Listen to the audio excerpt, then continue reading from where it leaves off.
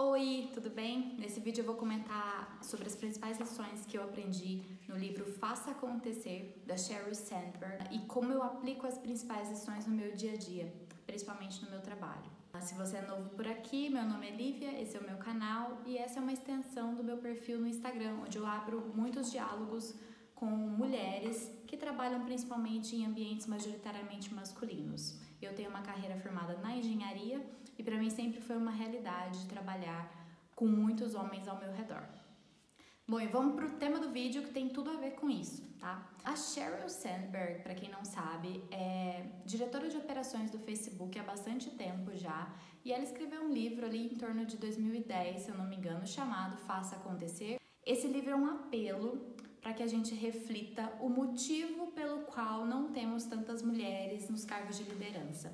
No Brasil, a gente tem cerca de 25% de mulheres que ocupam cargos de liderança em empresas. Esse número ainda é muito baixo frente ao percentual de mulheres da população brasileira, que é de 52%. Vamos começar com um exercício? Imagina uma pessoa bem-sucedida, com um cargo maravilhoso, bem relacionado com seus colegas, uh, um salário acima da média, que construiu uma carreira de sucesso. Agora seja sincero, você pensou num homem ou numa mulher? Pois é, existe um estereótipo muito forte na nossa sociedade que caracteriza que a pessoa com carreira bem-sucedida é quase sempre um homem. E isso não precisa necessariamente ser verdade, né? As coisas têm mudado e depende de nós tomarmos as ações para que essa realidade seja diferente, que esse estereótipo seja quebrado, que homens e mulheres tenham igualmente as mesmas oportunidades e chances de sucesso em suas carreiras.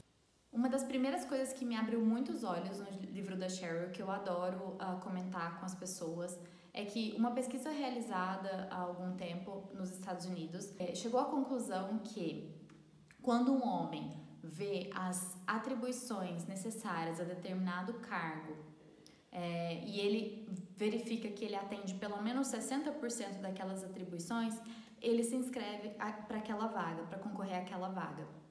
Já as mulheres, se elas não cumprirem 100% dos pré-requisitos que estão ali, elas se julgam incapazes de até concorrer àquela vaga.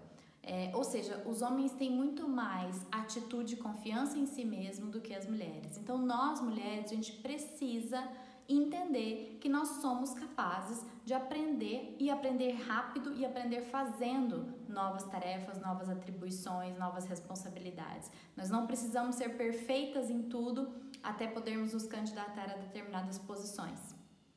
E mais, as mulheres precisam, assim como os homens que já o fazem com muita facilidade, reconhecer em si mesmas o motivo do seu sucesso e não atribuir a fatores externos como ah, alguém me ajudou, ah, eu tive um mentor, ah, a equipe foi legal. A gente precisa perder o medo e ter coragem de assumir e não achar que isso é algo arrogante. Assumir o nosso sucesso, assumir a nossa responsabilidade e reconhecer os nossos feitos. Porque isso sim vai nos levar para uma postura e uma atitude de reconhecimento externo. Se a gente não se reconhece, as pessoas externas não vão também te reconhecer.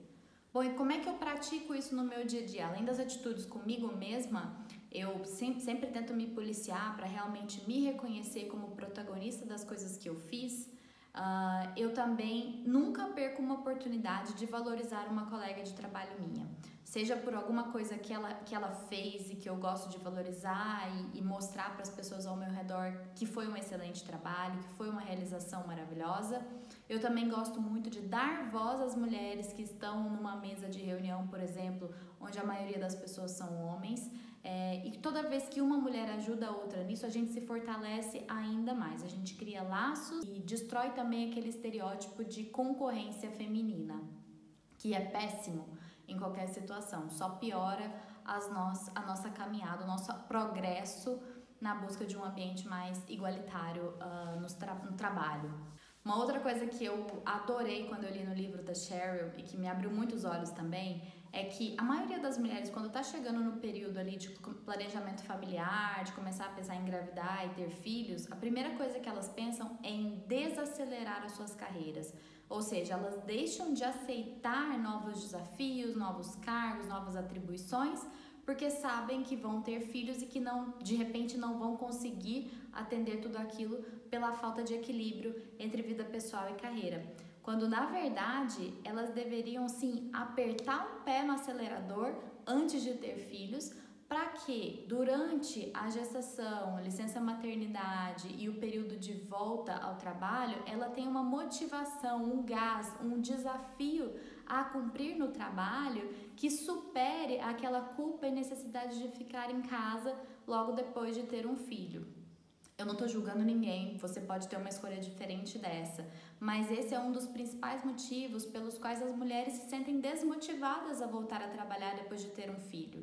É, muitas vezes elas não se sentem tão realizadas no trabalho quanto se sentem na maternidade. Isso é uma dificuldade, uma escolha muito dura para a mulher nesse período. E muitas vezes elas começam a declinar de desafios sem antes marido ou um parceiro com, com quem elas querem ter filhos. Então, assim, tem uma frase muito boa da Cheryl que diz: Don't leave before you leave. Então, não saia antes de você sair. Não deixe aquilo que você está fazendo antes de você realmente ter que deixar. Tente até o final, acelere, vá com tudo e ponha realmente muito esforço na sua reta pré-maternidade, porque isso vai te ajudar no seu regresso. Eu guardei isso como uma lição, espero que quando chegar a minha época eu consiga manejar desta forma. E eu vou dar um exemplo de uma conversa que eu tive com uma colega sobre isso. É, certa vez, ela foi comparada com um colega de mesmo cargo, que tinha as mesmas atribuições e o mesmo nível de entregas que ela, inclusive, e na hora de comparar os dois para serem promovidos a uma posição de liderança, que era única, o homem foi escolhido para essa posição. E o argumento que ela recebeu foi que ela já tinha saído para duas licenças de maternidade e por isso ela não tinha tido os, o mesmo nível de exposição a desafios que o homem.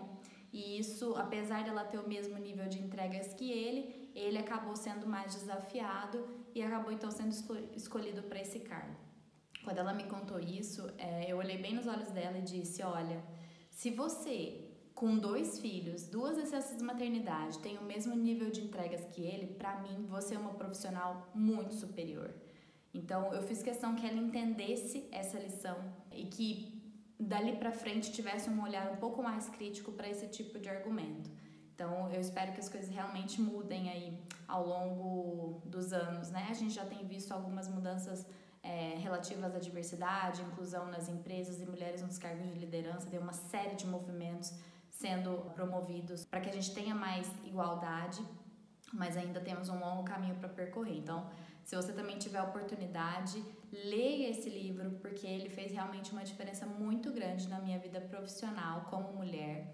E eu indico para todas as amigas que eu tenho e numa pesquisa no Instagram que eu fiz ontem, mais de 95% das pessoas que responderam não leram esse livro ainda. Então a minha dica para você essa semana é compre esse livro e não deixa uh, essa oportunidade passar. Quando eu fui escrever o roteiro para esse vídeo, eu abri no Kindle as minhas notas relacionadas a esse livro e foi super fácil, né? Eu adoro ler no Kindle e aí eu enviei para o meu e-mail e tava lá todos os trechos destacados que me relembraram de muita coisa interessante que a Sherry fala nesse livro. E para quem tiver interesse, antes de ler o livro, a Sherry também tem uma gravação no TED, que está disponível no YouTube, tem até algumas, algumas versões legendadas. Eu vou linkar uma delas aqui para vocês assistirem, porque vale muito a pena e é basicamente um resumo do, do livro. No livro ela destrincha muito mais, conta histórias super interessantes é, de vivência dela. Então, recomendo também que você assista, pode ser uma motivação para você comprar o livro. E aí eu quero finalizar com uma frase da Cheryl. Vou pegar meu computador aqui para ler para vocês. Ela diz o seguinte: É evidente que nem todas as mulheres vão querer ser diretoras, presidentes de empresa e etc. Mas todas devem almejar participar da história, sair da posição de espectadora. Tente tocar na banda ao invés de vê-la passar. Faça acontecer. Isso aqui é uma grande lição, uma grande, é, um grande ensinamento dela, da gente não ficar esperando, mas nos colocar no lugar, na nossa posição, no nosso direito de, de ser ouvidas, é, para que a gente realmente incentive outras mulheres. Toda vez que uma mulher se faz ser ouvida, toda vez que uma mulher é promovida, toda vez que uma mulher consegue vencer alguma batalha, todas as outras ao redor se inspiram e conseguem ver nela um exemplo. Então, eu tenho certeza que se a gente começar a dar os nossos próprios passos e apoiar umas às outras nessa jornada, as coisas realmente começam a mudar de figura. Bom, e se você gostou desse assunto, encaminhe para uma amiga, uh, dá um like aqui, deixa seu comentário, me, me conta se você já leu, se você não leu, o que, que você realmente gosta de implementar no seu dia a dia em relação a esse assunto. E deixe também nos comentários o que mais você gostaria de ver aqui como tema de próximos vídeos do canal, ok? Até mais!